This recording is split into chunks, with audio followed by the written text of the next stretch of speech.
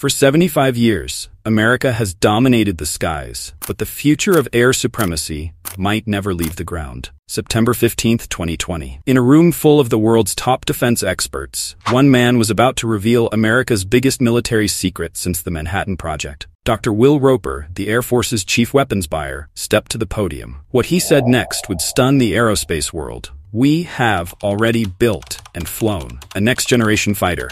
No warnings, no photographs, no press releases. The future of aerial warfare wasn't coming, it was already here. But four years later, this revolutionary aircraft, America's most ambitious aviation project since the Wright brothers, faces a $300 million question. Will the most advanced fighter jet in human history be able to take flight? Today, we take you inside the classified program that could reshape aerial warfare forever or become the most expensive aircraft that never was.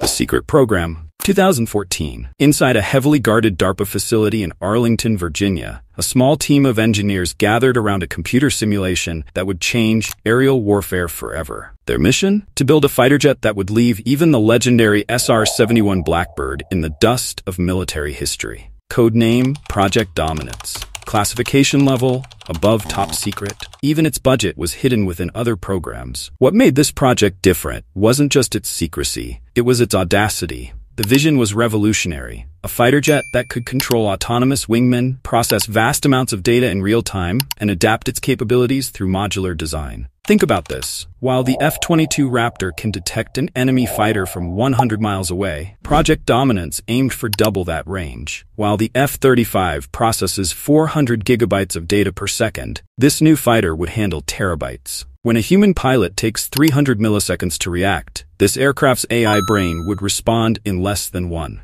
The breakthrough came through something called digital engineering, a revolutionary approach that had never been attempted at this scale. Every system, every component, every possible failure mode was tested millions of times in virtual reality. Engineers could simulate 10 years of combat operations in a single weekend. They discovered problems that wouldn't have shown up until years into traditional development, and they fixed them before a single rivet was installed. By early 2020, something extraordinary emerged from these digital simulations. Not just blueprints, but three fully operational prototype aircraft. Each one tested different aspects of sixth-generation technology. The first explored new forms of stealth, using quantum materials that could actively adapt to radar waves. The second tested autonomous combat systems that could outmaneuver any human pilot in simulated dogfights. The third, and this remains highly classified, reportedly demonstrated capabilities that senior Air Force officials call revolutionary. The master plan was unprecedented. 200 of these advanced fighters would command a force of 1,000 autonomous combat aircraft, the CCAs. Each CCA would carry its own advanced sensors, weapons, and AI systems. In combat, they would operate like a wolf pack, with the manned NGAD fighter as the alpha, coordinating attacks at digital speeds. But as 2024 dawned, Project Dominance faced its greatest challenge yet. The price tag had swollen to $300 million per fighter enough to buy four F-35s, and a crucial question emerged. In an era where autonomous systems grow more capable by the day, does America really need the most expensive fighter jet in history? The origins and current force. To understand why America needs a $300 million fighter jet, we need to travel back to 2009, a year that would reshape the future of American air power. The F-22 Raptor had just proven itself as the most lethal fighter ever built. With its radar cross-section roughly the size of a marble, it could slip through enemy defenses undetected. It could track targets from 150 nautical miles away, cruise supersonic without afterburners, and execute 28-degree angle of attack maneuvers while maintaining perfect control. The Air Force had an ambitious vision, 750 F-22s would dominate the skies, while 1700 F-35s would strike ground targets. A perfect team, each playing to its strengths. The F-35 Lightning II was never meant to replace the F-22. It was designed to complement it. Think of the F-35 as a quarterback on the battlefield. Its strength isn't in dogfighting like the F-22, but in its brain. Each F-35 processes 400 gigabytes of data per second, using advanced radar systems that can detect targets 147 miles away, a 360-degree infrared coverage system, and electronic warfare capabilities that can map entire battlefields. When these jets work together, they're nearly unstoppable. The F-35's sensors can detect missile launches from 800 miles away, instantly feeding that data to F-22s, which can then strike while remaining invisible to enemy radar. But in 2009, everything changed. Secretary of Defense Robert Gates, looking at ongoing conflicts in Iraq and Afghanistan, made a decision that would haunt the Pentagon for decades. Halt F-22 production at just 195 aircraft. His logic seemed sound at the time. America was fighting insurgents in pickup trucks, not sophisticated air forces. The Cold War was over. Why spend billions on air superiority fighters to combat an enemy that didn't even have an air force?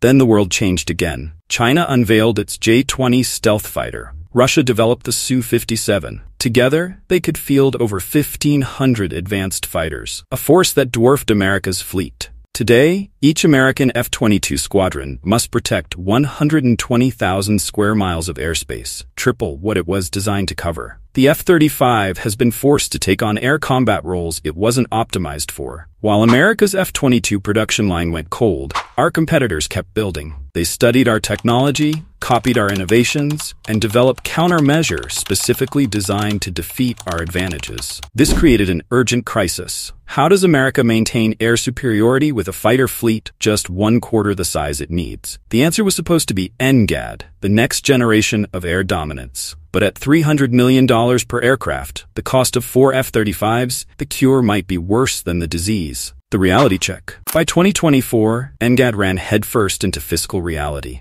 Air Force Secretary Frank Kendall revealed the staggering numbers. Each NGAD fighter would cost $300 million, equivalent to four F-35As at $75 million each, or seven fourth-generation F-16s. The Air Force faced an unprecedented budget crunch. They needed $100 billion for nuclear modernization, including the Sentinel ICBM program. The Space Force required $30 billion for satellite constellations and ground systems. Base defenses against hypersonic threats would cost another $15 billion.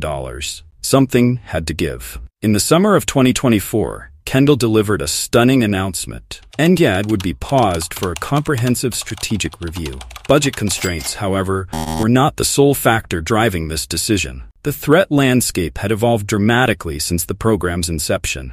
Autonomous technology had advanced faster than anyone predicted. Intelligence reports showed China's next-generation fighter program progressing at an alarming rate. The Air Force is going back to the drawing board, asking fundamental questions that will reshape the future of aerial warfare. As Vice Chief of Staff James C. Slife put it, how do we achieve air superiority in a contested environment? That's very different from asking, how do we build a sixth-gen manned fighter?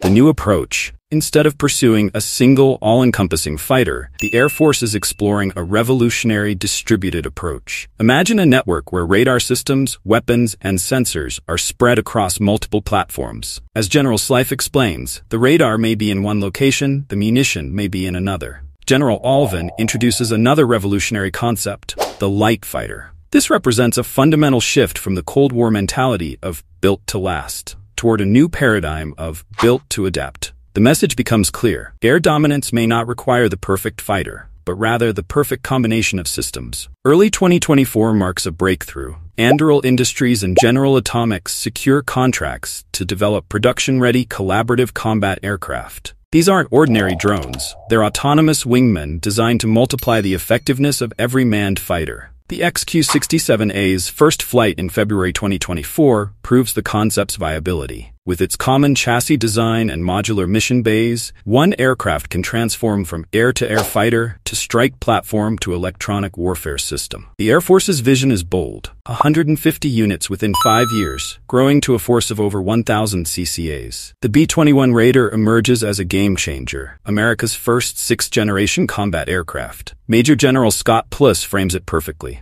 If we characterize it as a fighter, we're thinking too narrowly about what kind of airplane we need in a highly contested environment. Its capabilities are staggering. Quantum radar systems with unprecedented range, multispectral sensor fusion, and electronic warfare systems rivaling NGAD's planned capabilities. In future operations, each B-21 could control up to 10 autonomous drones, penetrating 5,000 miles deep into enemy territory. At $780 million per aircraft, it's expensive, but its versatility could revolutionize air warfare. While looking to the future, the Air Force isn't neglecting its current assets. A $10 billion upgrade program transforms the F-22 for modern combat. AIM-260 long-range missiles, enhanced data links, advanced electronic warfare systems, and crucially, the ability to control autonomous wingmen. The investment is well placed. After 500,000 flight hours, the F-22 fleet shows remarkable resilience. 72% mission-capable rate, 94% airframe life remaining, and still unmatched in air combat effectiveness. The emerging picture is clear. A networked combat system where every platform plays a vital role. F-22s dominate air-to-air combat. F-35s orchestrate the battlefield through advanced sensors. B-21s project power deep into enemy territory. CCAs extend reach and multiply combat power, all connected through quantum networks, creating an integrated force greater than the sum of its parts. This evolution raises fundamental questions about NGAD's future. Does America need a $300 million dedicated sixth-generation fighter when the B-21 already offers sixth-gen capabilities? Could enhanced F-22s with autonomous wingmen provide a more cost-effective solution? Should investment shift toward drones and platform upgrades? By late 2024, the Air Force must chart its course. This isn't just about choosing an aircraft. It's about defining the future of air warfare itself. The decision will reshape everything from pilot training to base infrastructure to combat tactics. These next few months will determine whether America's sixth-generation fighter takes flight or whether air dominance requires a more distributed, autonomous approach. One certainty remains. The competition for tomorrow's skies intensifies daily. America's challenge is maintaining its edge in an increasingly contested domain.